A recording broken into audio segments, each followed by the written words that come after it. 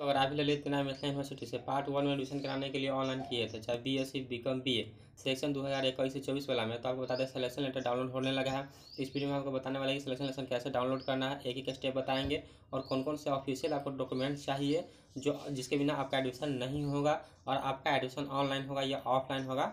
सारी जानकारी इस वीडियो में आपसे शेयर करने वाले दोस्तों, आप गूगल या क्रम ब्राउज़र को ओपन कीजिएगा।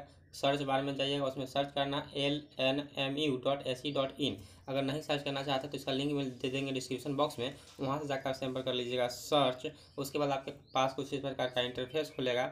इंटरफेस खोलने के बाद आपको क्या करना है? नीचे स्क्रॉल करना है। देखिए, नीचे जब स्क्रॉल कीजिएगा तो आपको नीचे में यहाँ पे ऑप्शन मिलेगा। फ़र्स्ट में ही ऑप्शन मिल जाएगा आपको डिग्री यहाँ पे देखिए दोस्तों यहाँ पे आप देख सकते हैं। सिलेक्शन लेटर डाउनलोड करने का ऑप्शन दिया गया है। इस पर आपको कर देना है क्लिक जब भी क्लिक कीजिएगा तो आपसे फॉर्म यूनिक आईडी पूछेगा। हाँ दोस्तों, इसमें आपको यूनिक फॉर्म आईडी डालना है। जब आप ऑनलाइन किए तो उसमें रिसीविंग दिया होगा। उसमें आपको दिया होगा जो आप हम बगल में घेर रहे हैं, ठीक है? उसको डाल लीजिएगा।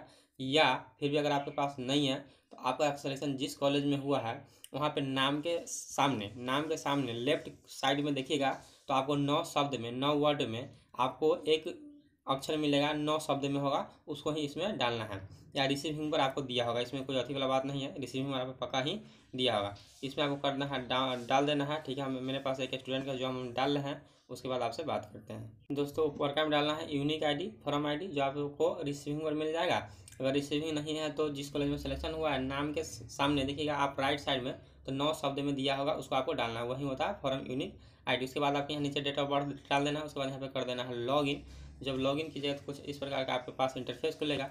आपको दो ऑप्शन पूछेगा। यहाँ पर पूछेगा डाउनलोड फॉर्म जो आप ऑनलाइन कहते सो या डाउनलोड सिलेक्शन लेटर तो अभी हम करने वाले सिलेक्शन लेटर तो सिलेक्शन लेटर पर कर देंगे क्लिक जब क्लिक करेंगे तो कुछ इस प्रकार का इंटरफेस ओपन हो जाएगा। अब यहाँ पर देखिए, अभी हम डेस्कटॉप साइड में मोबाइल को नहीं लगाए हुए हैं, इसलिए कुछ इस प्रकार का इंटरफेस आ गया। सब कुछ यहाँ पर देख रहे हैं। ऊपर देख रहा है प्रिंट के ऑप्शन और आपको कौन कौन सा डॉक्यूमेंट चाहिए? यहाँ पर सारी चीज़ यहाँ पर दिया हुआ है। आपका अप्लीकेशन यानी जो सिलेक्शन लेटर है, इस पर दिया रहेगा। आपको अलग से कुछ सोचने की ज़रूरत नहीं है। यहाँ पे आप देख सकते हैं, जो आपका सलेक्शन लेटर है, इस पर ही आपको सारे चीज़ दिया हुआ है। देख सकते हैं आपका जो जो डॉक्यूमेंट चाहिए। और रही पैसा की बात तो सभी कॉलेज का अलग अलग फ़ी है। और ऑनलाइन होगा या ऑफलाइन होगा तो दोस्तों और कॉलेज में ऑनलाइन होने वाला है और कॉलेज में ऑफलाइन तो जिस कॉलेज में आपका सिलेक्शन हुआ है, उस कॉलेज में जाकर आप पता कर लीजिएगा कि ऑनलाइन होगा या ऑफलाइन अगर ऑफिशियल को नोटिफिकेशन आता है तो आपके पास हम नोटिफिकेशन भेज देगा। आप कर देंगे सिंपल से प्रिंट पर क्लिक जब प्रिंट प्रिंट पर क्लिक करेंगे तो यह डाउनलोड होने का ऑप्शन पूछेगा। ठीक है देखो यहाँ पे देखिए, पूछ दिया है पीडीएफ में सेव करने के लिए।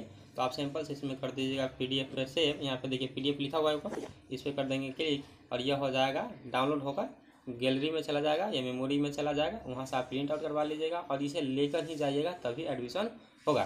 ठीक है दोस्तों, वीडियो पसंद आते वीडियो को लाइक कर दीजिए, चैनल अपने तो चैनल को सब्सक्राइब कर दीजिए। मिलते हैं नेक्स्ट वीडियो में, तब तक के लिए जय हिंद, वंदे मातरम।